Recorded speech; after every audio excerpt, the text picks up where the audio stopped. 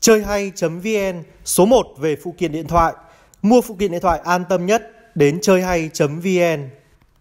Chào mừng các bạn đã quay trở lại với Dương Dê. Mình là Amin Kha đây và hôm nay thì mình đang có trên bàn đây là cái chiếc Red Magic 6 Pro để test công suất sạc là 120W các bạn nhé.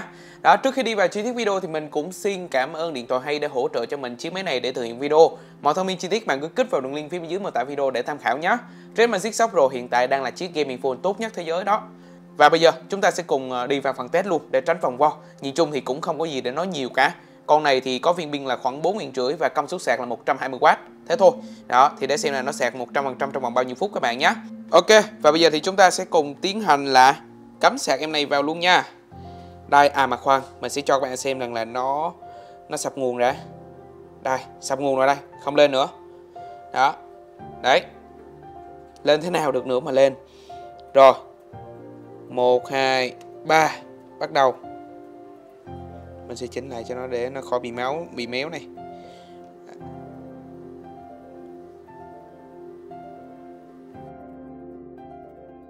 Như vậy là cái chiếc máy này nó đã nhận sạc rồi các bạn nhé. Thì với 120W Mình nghĩ rằng là nó sạc sẽ rất là nhanh thôi.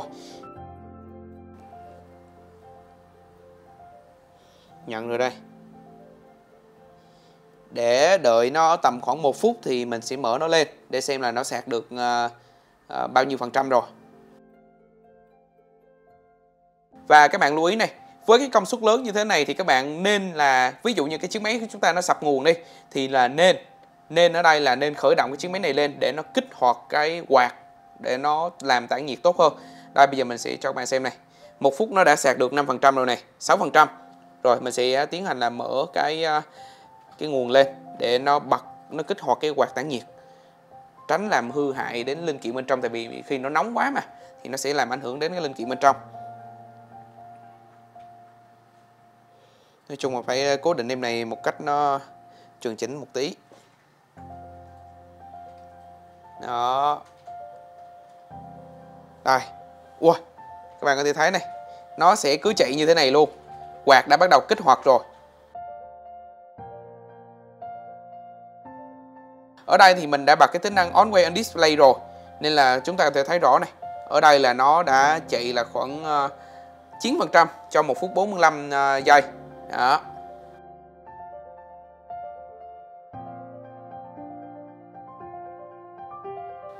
Ok.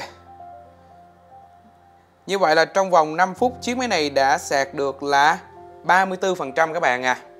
Bây giờ thì chúng ta sẽ cùng nhau đợi đến ờ, phút ờ, thứ 10 các bạn nhé để xem là nó đã sạc được bao nhiêu phần trăm không biết là có lên nổi được ờ, 60 phần trăm hay không đây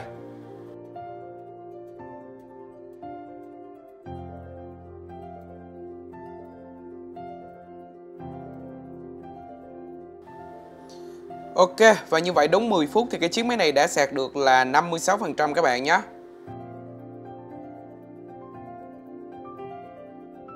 Như vậy là mình nghĩ tới phút thứ 20 thì nó sẽ dao động tầm khoảng là 80% đó các bạn à.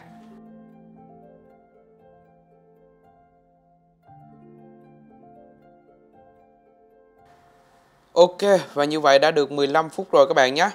Và chiếc máy này đã sạc được là 78% cho 15 phút. Định là để lên ờ, phút thứ 20 nhưng mà thôi. Đó, thấy em này sạc nhanh quá nên là show cho bạn xem luôn.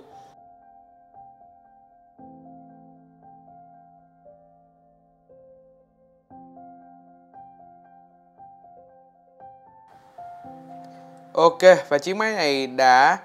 Đây, Sạc được 95% trong vòng 20 phút các bạn nhé. Rất ấn tượng đúng không nào? Và đây là một cái khoảng thời gian mà mình nghĩ rằng là nó sạc rất nhanh rồi. 120W cơ mà. Cho một viên pin có dung lượng là khoảng 4.000 rưỡi. Mình nghĩ là cái chiếc máy này nó có thể là sạc đầy trong vòng khoảng à, uh, 25 phút cho 100% pin. Tầm đó. 21 phút đã là 96% rồi. Thì mình nghĩ đây là cái khoảng thời gian chia ra nó hợp lý là như thế. À 97 rồi. Chết rồi. 97 rồi các bạn à. 22 phút thì đã được là 98%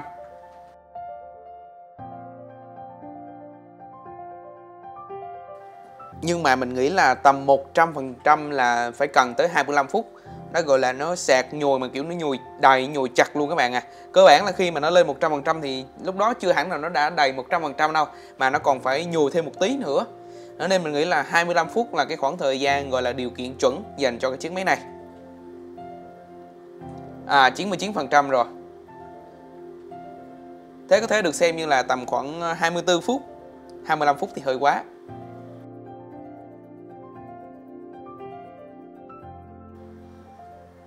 Mình sẽ để tay vào để cái à, đây đầy rồi. Đó 100% là đúng là khoảng 24 phút luôn các bạn à. Đấy là như thế đây hiển thị đúng 100% rồi đây Wow, như vậy là chúng ta có thể thấy là cái công suất sạc này nó thật sự rất khủng khiếp. Nó giúp cho cái chiếc Red Magic 6 Pro nạp viên pin với dung lượng là 4 rưỡi chỉ trong vòng là khoảng 24 phút thôi. Đó. Và cho là 25 phút là nó là hoàn chỉnh luôn cho cái viên pin có dung lượng như thế. Vậy thì còn các bạn các bạn nghĩ sao về cái chiếc Red Magic 6 Pro này thì xin hãy để lại ý kiến của mình bên dưới phần bình luận của video nhé. Còn bây giờ thì xin chào và hẹn gặp lại.